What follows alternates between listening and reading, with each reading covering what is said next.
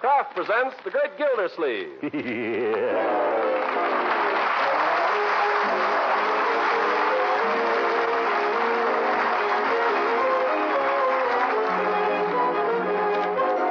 The Kraft Cheese Company will also bring you Bing Crosby every Thursday night. Present each week at this time Harold Peary as The Great Gildersleeve, written by John Whedon and Sam Moore. We'll hear from The Great Gildersleeve in just a moment. But first, if you live in the South, you've probably already harvested many good things from your victory garden. If you live in the North, the first tender green shoots are pushing their way through the soil. Wherever you live, the chances are you're congratulating yourself on hard work that's worth it because you're providing your family with wholesome, good tasting food. Kraft, the makers of Parkay margarine, get much the same feeling of satisfaction, too, in making a food that fits in so well with your cash and ration stamp budgets. For Parkay margarine requires just five red ration points a pound. And besides being a delicious, appetizing spread for bread, it's also a fine seasoning that'll add delicate extra flavor to garden vegetables served piping hot on your table. Yes, and Parkay is a real flavor shortening for your home baking, and it's grand for pan frying, too. What's more, Parkay is one of the best energy foods you can serve, and it contains vitamin A.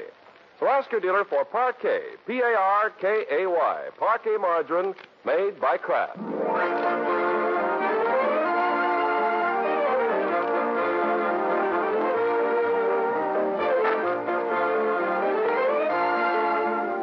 Now let's join the great Gildersleeve in Summerfield. It's a beautiful Saturday morning in May, the kind of a Saturday morning that makes a man think twice before he starts down to the office. Mr. Gildersleeve, who is strictly human, has thought twice and is about to think again when the doorbell rings. Oh, who the. I think it's a postman, Leroy. Postman? Gee, maybe he's got my stuff. Huh? Hi, Mr. Underwood. Hello there, young fellow. I've got something for you if you've got 97 cents for me. 97? Hmm, just a second. Say, Unc, could I have my allowance now, please? Well, I guess so. Let me see. Uh, I haven't got 50 cents in change. Is that so? Well, that's funny. I was about to ask for a slight advance anyhow. Isn't that funny? Yeah, very funny.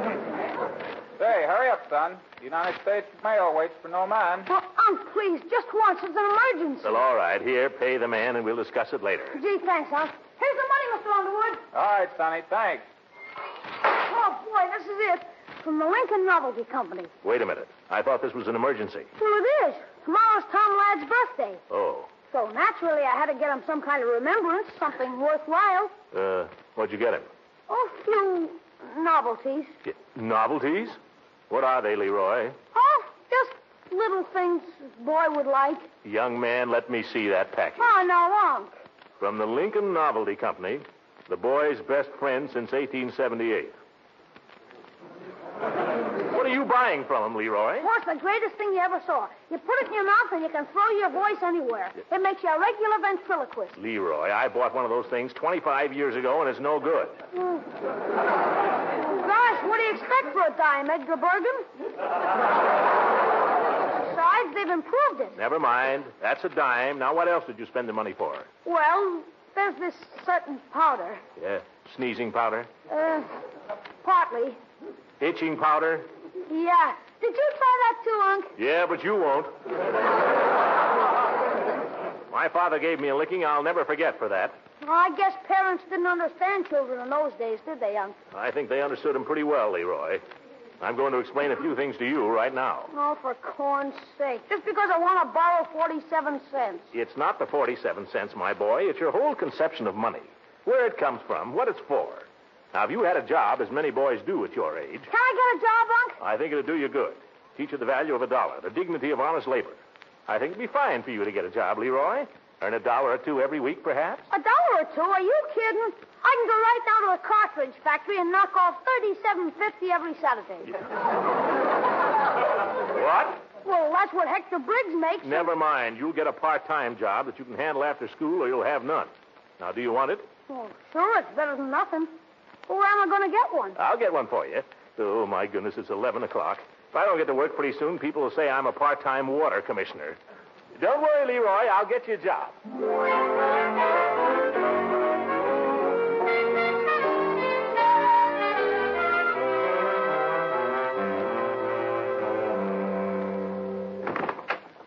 Come in, Gildy. Come in. Uh, hello, Judge.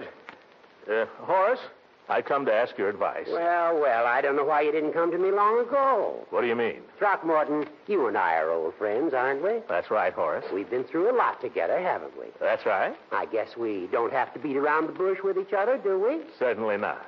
Gildy, let's face it.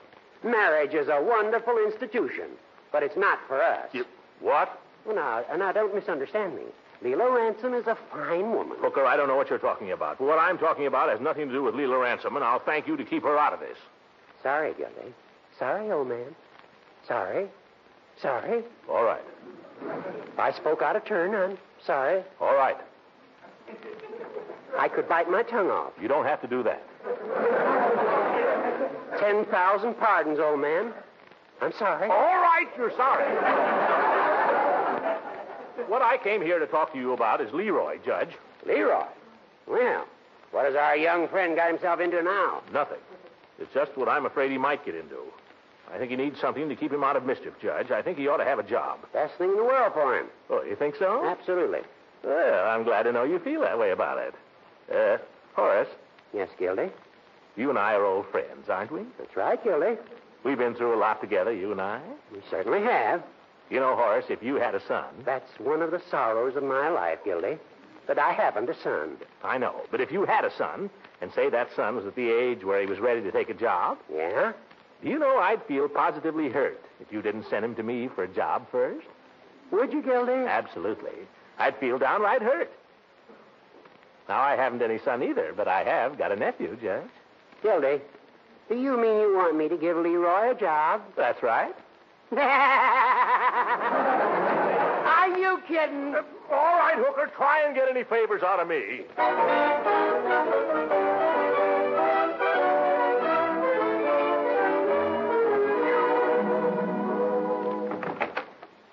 That you, Unc? Yes, Leroy. And I'd like a word with you. Unc, guess what? I've got a surprise. Well, that's fine, but suppose you save it for a moment. Leroy, I'm afraid I'm going to have to disappoint you. Disappoint me? Yes, my boy. I, I promised this morning that I'd get you a job, but I find it's not as easy as I thought. Yeah, but, Unc, Please let me finish. I realized that you'd be disappointed, so I decided I'd give you a job myself. at your office? No, right here, my boy, mowing the lawn. Well, I did that last summer. I know, but this summer I'll pay you. Uh, shall we consider it settled? Well, there's just one catch, Unc. What's that? I got a job myself this afternoon. Peavey's drugstore. What? I start tomorrow. See you later, Uh, Unc. wait a minute, wait a minute. You, uh, who's going to mow the lawn?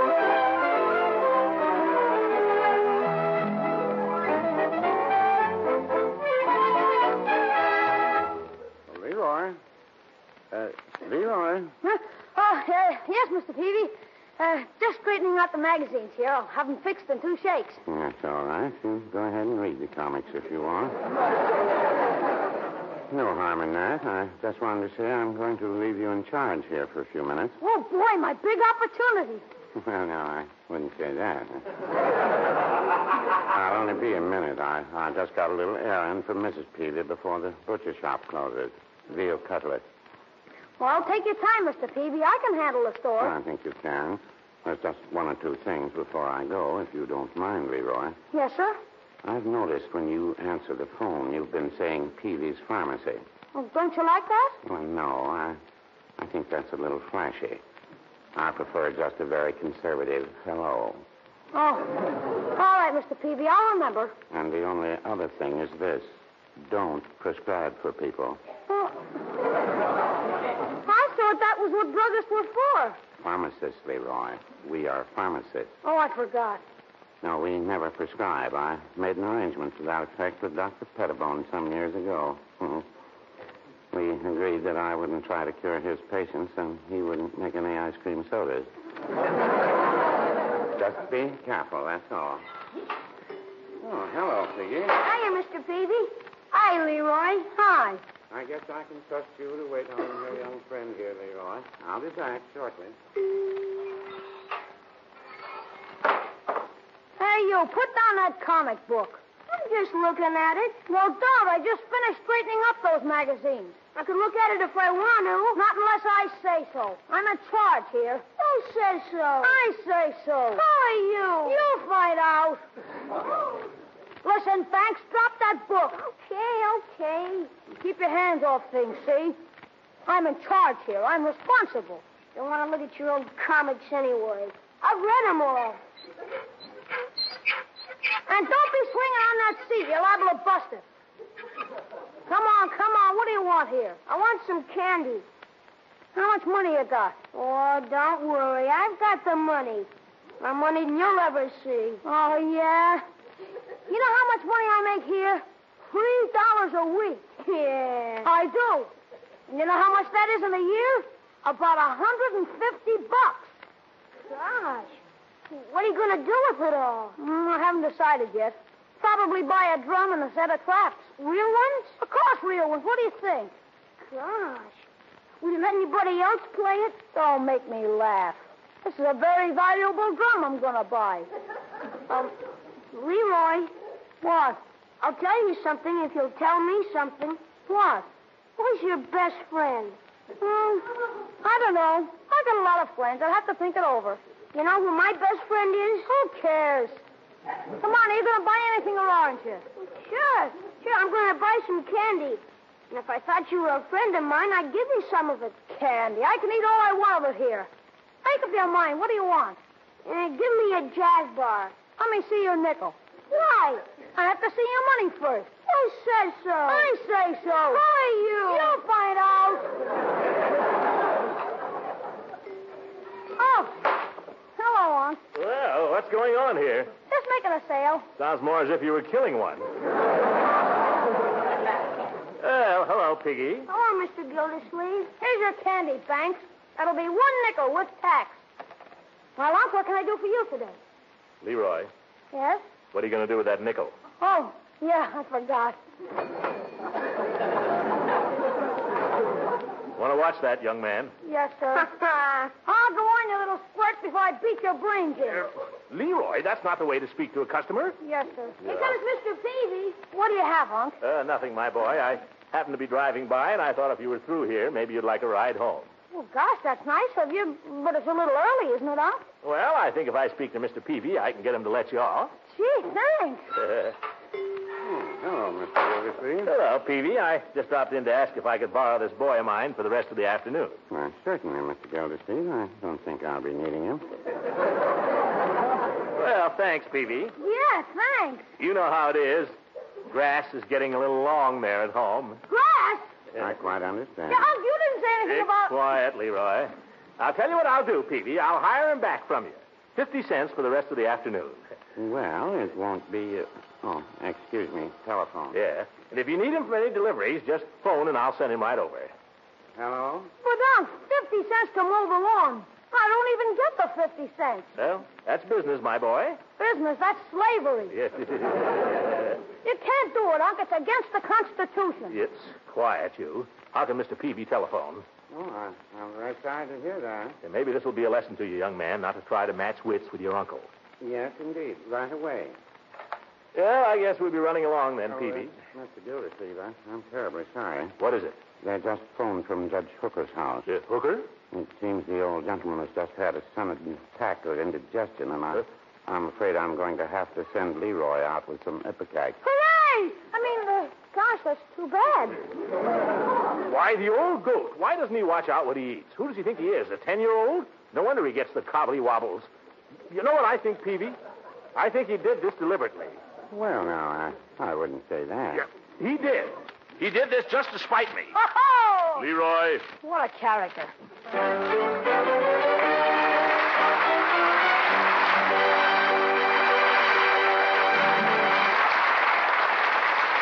Gildersleeve will be with us again in a few seconds.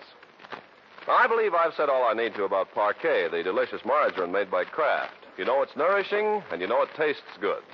So now I'm going to talk about the men and women behind the counter in your favorite food store. I'm going to talk about them because they deserve a word of praise for the perfectly marvelous job they're doing in these trying times.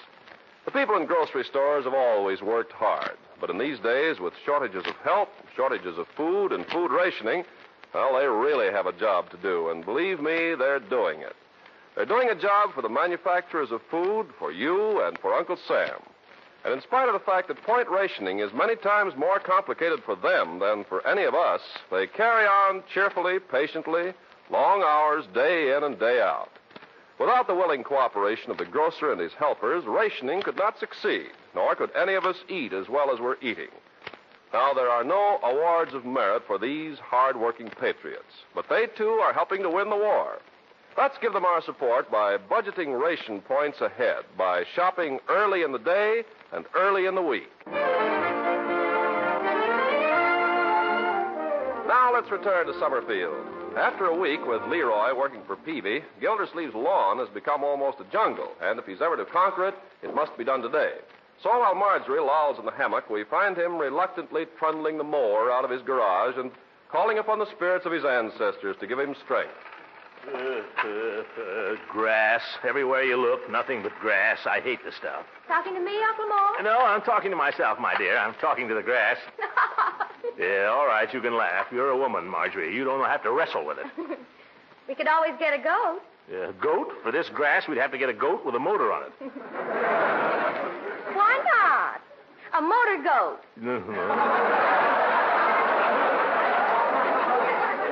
a motor goat. You couldn't get any self-respecting goat to do this kind of work. It takes a dumb beast like a man.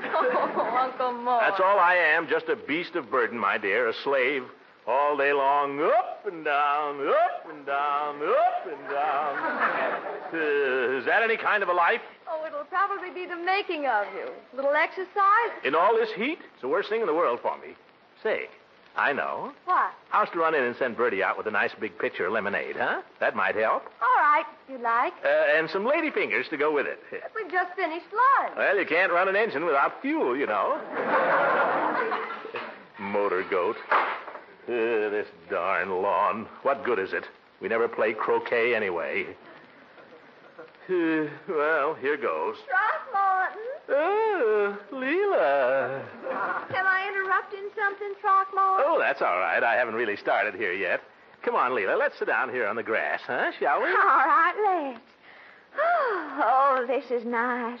You know what I love? Huh? I love to run my fingers through the nice, soft grass and feel the warm earth underneath. You? Yes, and feel those darn little roots pushing it up, pushing it up. Oh, silly. Yeah. Listen, Leila. What? I think I can hear it growing. Oh, Throckmorton, I love you when you're like this. Like what?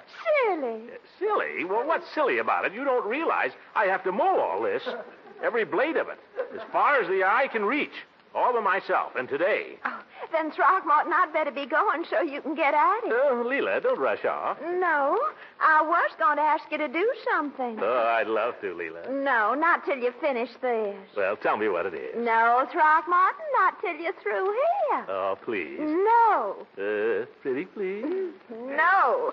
Throckmorton, let go. Here comes Birdie. Yeah? Uh, after I finished, will you? After you finish. So you hurry up and get to work now, you hear? Uh, darn lawn. Well, here goes. Here's your lemonade, Mr. Gilsleeve. Oh, just in the nick of time, Birdie. Say, looks mighty good, too. Yes, sir. Here's a glass. Oh, never mind the glass. I'll just drink it out of the pitcher, like this. Look out there, Mr. Gilsleeve. Look out you don't fall in. You, you, you, you. What a man. Mr. Gilsleeve, you better come up for air. Uh, I tell you, there's nothing like a pitcher of lemonade after a hard day's mowing. Pretty good before it, too. Yeah. yeah, you're right, Birdie. Oh, uh, say, by the way, Birdie, Yes, sir. uh, tell me something.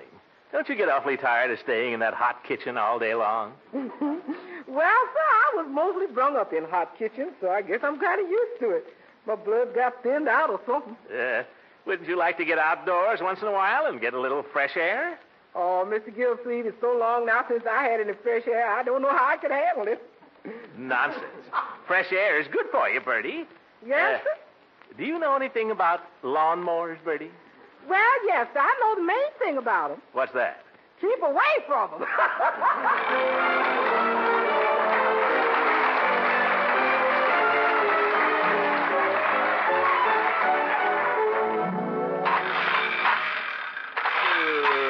this'll be the death of me yet. Uh, grass, it sneaks up on you. It grows when your back is turned. Hi there, Mr. Gildersleeve. Oh, Ben. Hello, Ben. Hi. Well, I haven't seen you around here lately, my boy. Oh, been kind of busy.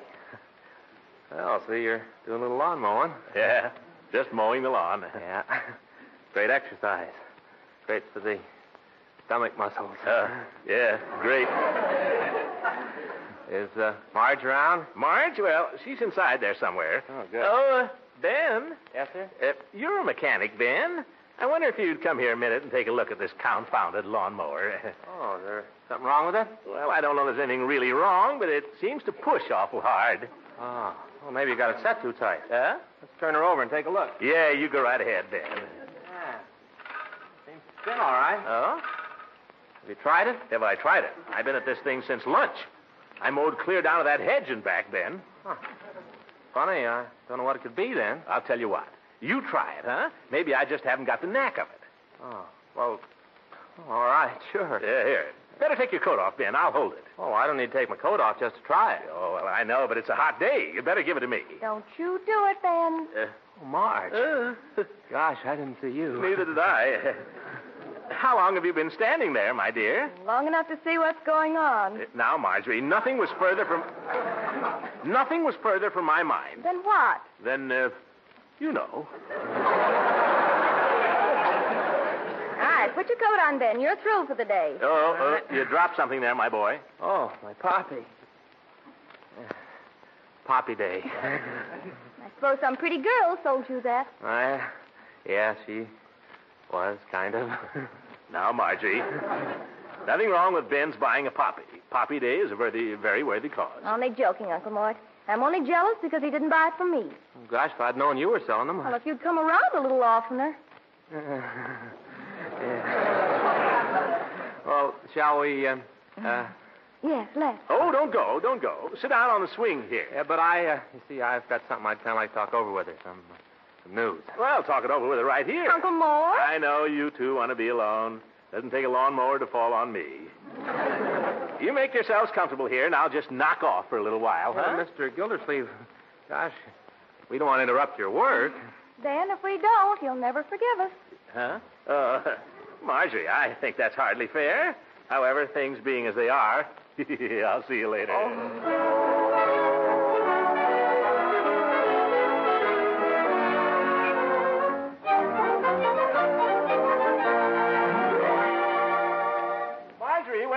supper? I'm half starved. We'll have it just as soon as Leroy arrives, Uncle Mort. Leroy. It's Leroy this and Leroy that. Who the dickens is Leroy? He's the kid that used to mow the lawn, remember? Uh, yeah, and he'll mow it again, too. Well, let's be nice to him when he gets home. All right. After all, it's his first week's work, and that's a pretty big milestone for a boy. Is Leroy working? Mm-hmm. He's been working for Mr. Peavey this week, Dan. Oh, soda jerk? Well, something like that. Now, Uncle Mort, I'll bet Leroy learns plenty in that drugstore. That's ridiculous. Oh, yes, he will. I'll bet you that when he... Hi, Oh, thank goodness. Birdie! Uh, Birdie! I heard him too, Mr. Gildersleeve. All right. All right, folks, the toiler is home from his toil. Who's going to get my pipe and slippers?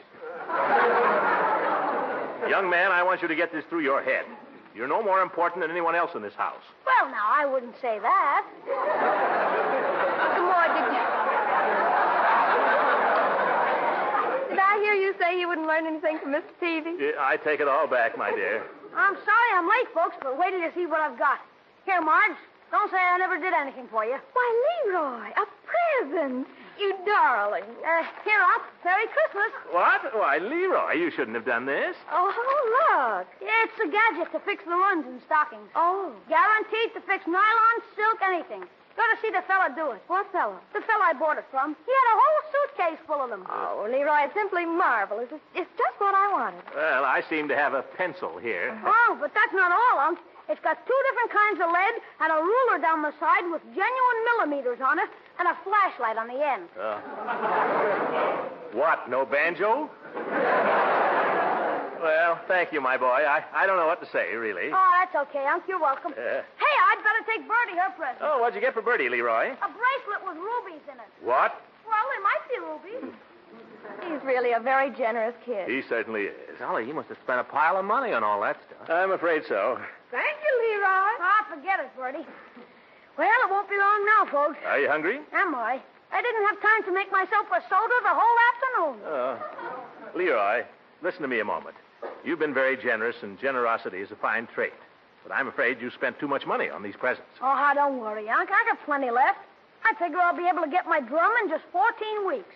Uh, I want to explain something to you, my boy. You're making money now. Everyone in this country is making money. Yeah? But hardly anybody is making things to sell anymore. Most of the work is going into making bullets and such for the war. Yeah? What I'm trying to say is everybody ought to spend their money on war bonds and stamps instead of things they don't need. That's the way to fight inflation. Oh, you mean I shouldn't get the drum? Oh, I didn't say that. It'd be a very good thing if we all thought more about the war and less about ourselves. Oh, gosh, Unc, I can't be thinking about the war all the time. Would it be easier if you knew somebody who was in it? Yeah, sure, I suppose so. But I don't. Yes, you do, Leroy. Oh, no, I don't, Marge, honest. Ben, can I tell? Huh? Oh, sure, I guess so. All right. Leroy, this morning Ben got his commission in the Navy. He'll be leaving very soon to join a ship. Gosh, the Navy. Well, I didn't know about this, Ben. Congratulations. Oh, thank you, sir.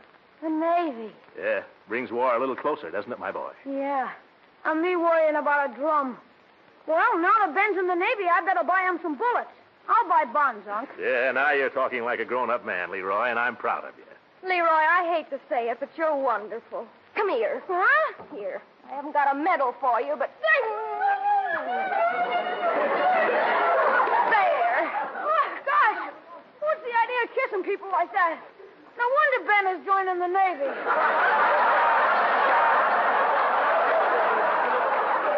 Well, little Leroy hasn't grown up as much as I thought he had.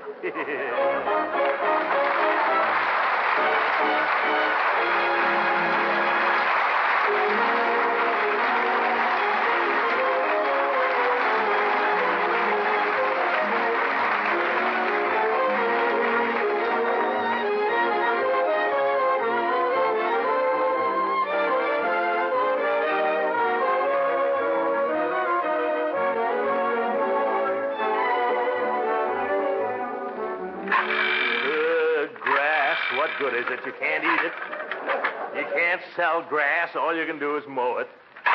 Oh, these darn mosquitoes. Oh, brother, this has been one of my bad days. Throckmorton, Oh, that's you, Leila? I've been expecting you all afternoon, Throckmorton. What happened? Oh, nothing happened, Leila. I've been working here like a dog. But by George, enough is enough. I'm quitting right now. Uh, what is it you want me to do, Leila? Oh, well, it's too late now, Throckmorton. Oh, no, it's not, Leila. Oh, but it is. Leila, don't be like that. It's never too late. A man's got to have a little fun. Uh, what is it you were going to suggest that we do? Well, I thought if you got through with your lawn in time, maybe you'd help me with mine. Hmm. That's all. Good night, everybody.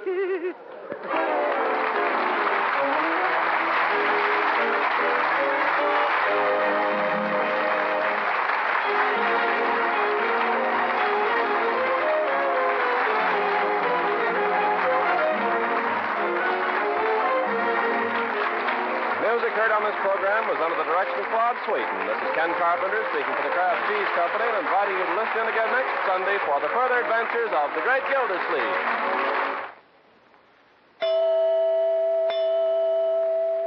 Lots of you ladies are having to use ingenuity these days to make the main dish hearty. Well, here's a very clever trick. Serve a small amount of meat or chicken or eggs or vegetables creamed in a licking good macaroni and cheese ring. And make that ring the fast way with Kraft Dinner in only seven minutes cooking time. The Kraft Dinner macaroni is a special kind that cooks fluffy tender just in boiling water. The Kraft grated in each Kraft Dinner box puts the cheese flavor through and through the macaroni in a jiffy. Press the delicious hot Kraft Dinner into a ring mold, let it set for a moment, and then serve with your creamed meat or vegetables. Or serve the Kraft Dinner macaroni and cheese all by itself. Either way, you have a real wartime special. For one Kraft Dinner box gives you macaroni and cheese for four people, and you give out just one single red ration point. Get some soon. Just ask for Kraft Dinner. This program reached you from Hollywood.